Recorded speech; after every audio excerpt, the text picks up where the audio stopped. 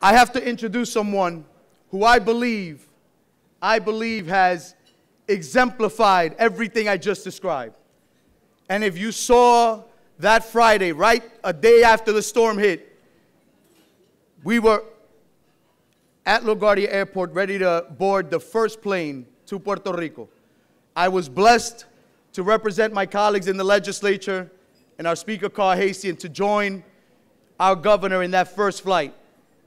During that flight and that press conference, many of you heard me mention that it was mommy's birthday that day, and I had yet to speak to my mother and didn't know what her situation was. And that September 22nd was mommy's birthday, and symbolically, I took with me a birthday card. And I had it in my pocket, and I took it on the flight. And when we got to Puerto Rico, obviously, we weren't there to interrupt any of the effort.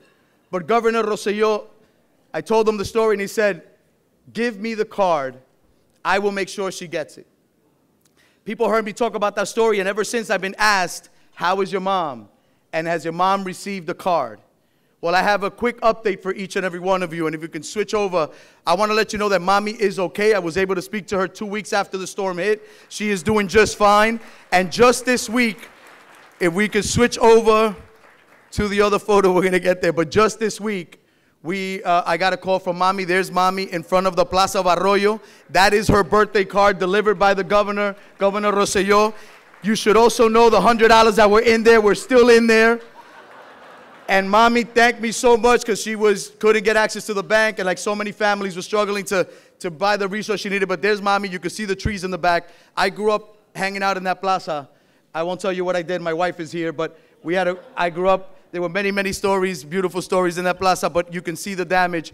But what matters more is that mommy is standing on her feet, and like so many Puerto Ricans, she's gonna stay there, she's gonna fight back, she's gonna rebuild, and we're gonna make sure that Puerto Rico gets to where it needs to be. And the person that has exemplified that response, the person that has stood up, was the first one presente, the first one to organize and deliver, the person who has put the resources necessary to have the kind of response that this type of tragedy uh, deserves, was not the President of the United States, it wasn't anybody in Congress, it wasn't any other state of, uh, in the country, it was our great governor of the state of New York who stood up and fought for us. So, ladies and gentlemen, help me welcome a man who has responded to Puerto Rico and continues to respond, our governor, Andrew Cuomo. Thank you very much. Thank you. Thank you. Thank you. Thank you. Thank you very much. Welcome to Queens. This is a Queens accent. This is my home borough. Terrace on the Park, we are living very large at Terrace on the Park. This is the place in Queens. Had my high school prom, Terrace on the Park. That's right, right here. Platform shoes, baby blue polyester suit, hair up in a fro. Travolta had nothing on me. Let's give a truly great leader, a great leader, and I don't use those words easily. Assemblyman Marcus Crespo, thank you for your leadership. Thank you for your friendship. The Speaker, Carl Heastie, who's doing a great job, my friend, my colleague. Let's give him a round of applause.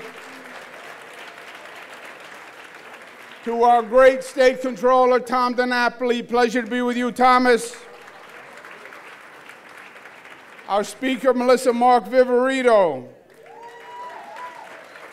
Borough President, the frail Ruben Diaz Jr. I have my team with me today. Alfonso David, our counsel, Robert Mujica, Arlene, Gon Arlene Gonzalez Sanchez, Guillermo Linares, and Melissa Caseda. Let's give them a round of applause.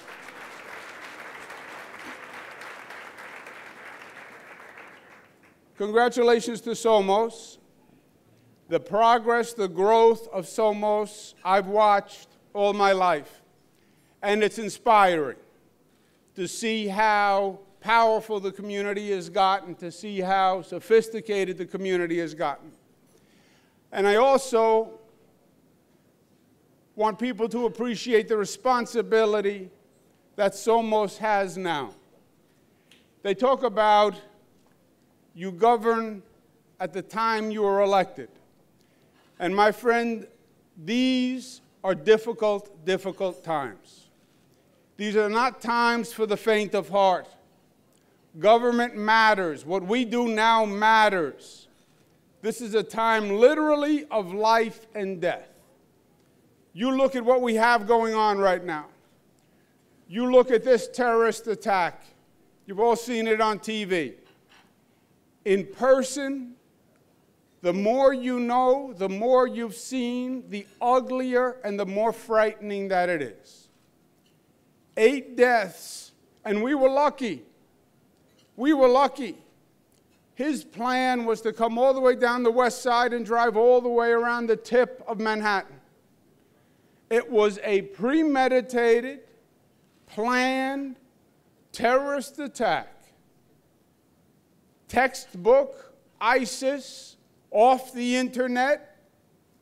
Anyone can do it. Anyone can rent a car. Anyone can rent a truck. Why? Because we're New York.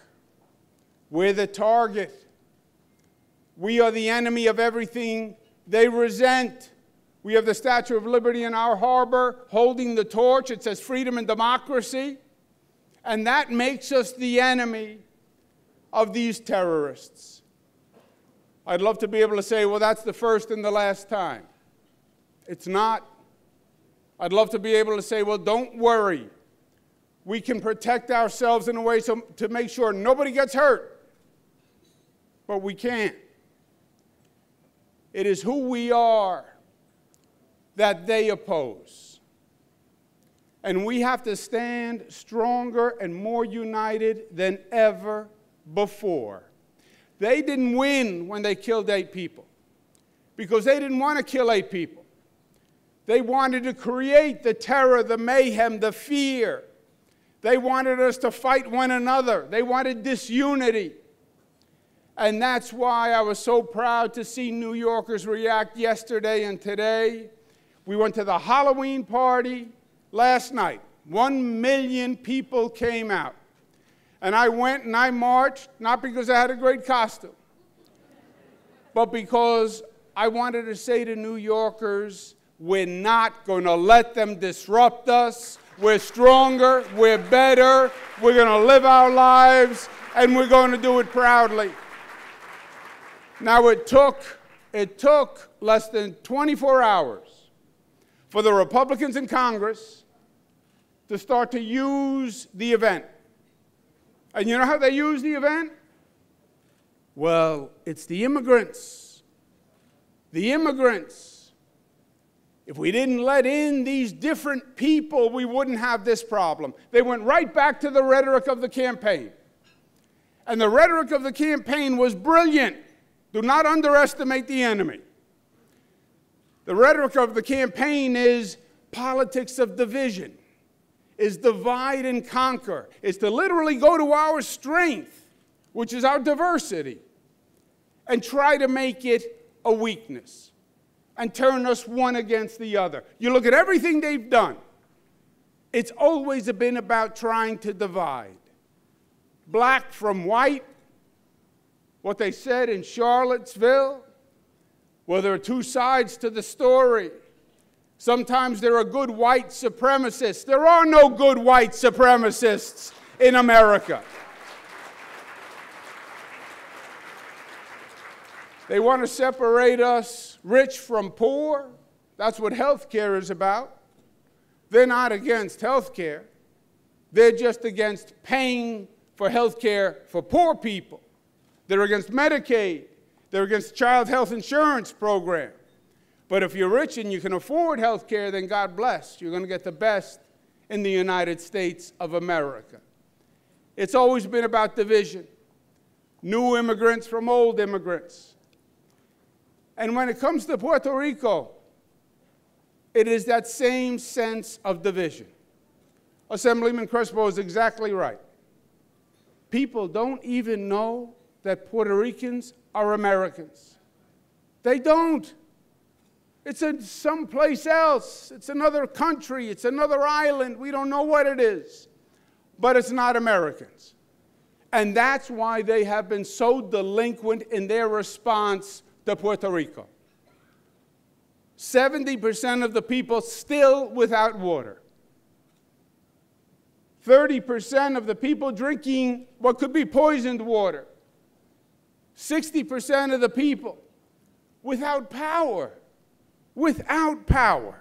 Now, if this were any other state in the United States, Alabama, California, Maine, Imagine the outrage 42 days without water. Imagine how the, the networks would be there, and CNN and ABC, and the outrage. Imagine what Congress would say. How can you let Americans be with 42 days without water? But because it's Puerto Rico, you hear nothing. Because Puerto Rico doesn't get the respect that it deserves and it's a victim of this sense of division. I worked in the federal government, I did disaster assistance. I did 11 disasters when I was there Florida, New Jersey, North Carolina, California, Alaska, North Dakota, Nicaragua, Honduras, Dominican Republic, Haiti, and Puerto Rico. 11 disasters over eight years. Every other response was better and more responsible than the response that Puerto Rico has gotten. Every other one. 1,500 workers the federal government sent to Puerto Rico. 1,500. You know how many we had for Hurricane Sandy on Long Island? 15,000 workers came to Long Island. You know how many workers Florida has had? While Puerto Rico has had 1,500 after the same storm, Florida has had 27,000.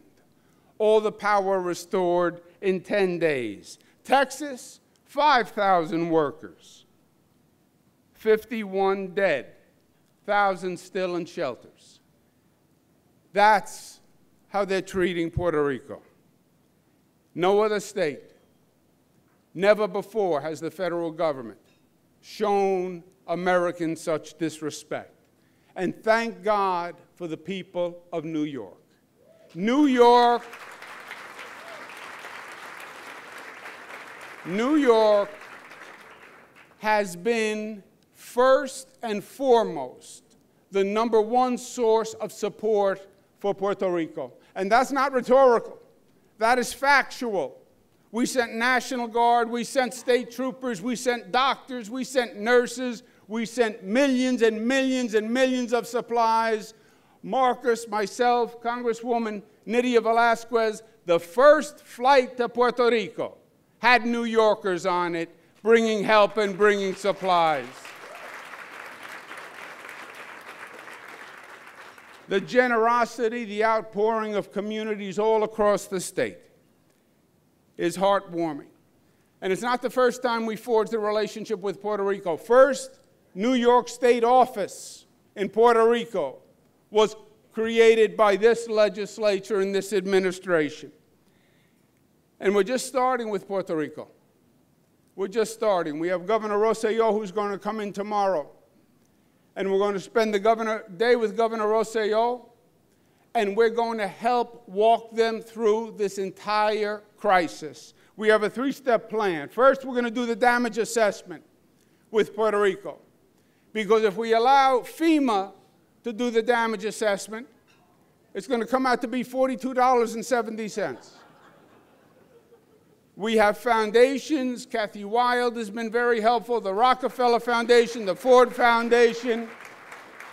We have the best private sector companies. We're going to put them together with state agencies, Gil Quiniones, and our team at NYPA, and our housing department, and we're going to do the damage assessment of the real, true amount of damage to Puerto Rico, and we're going to bring that to that Congress, and we're going to say, give Puerto Rico the amount of money they deserve. Texas already put in their damage assessment $60 billion.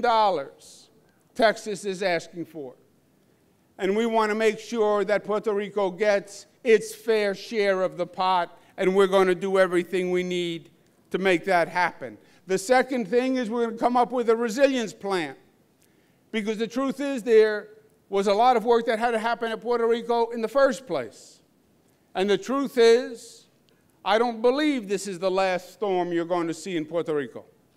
I don't believe it's the last storm you're going to see in New York or anywhere else. While our friends in Washington deny climate change because they deny science, I think they're kidding themselves. Either it's climate change or Mother Nature has had a nervous breakdown. It's one or the other. But in either case, there are going to be more storms, and this is going to repeat and we want to build a resilient Puerto Rico and make it better than ever before and more sustainable than ever before. And we're going to get the best consultant team we can put together to design that plan for Puerto Rico. And then we're going to go to the U.S. Congress together and say Puerto Rico has to be helped they need their fair share. You've abused them. You abuse them as Americans. You abuse their human rights. We're going to get our congressional delegation and we're going to do whatever we have to do to get full, and fair funding for Puerto Rico.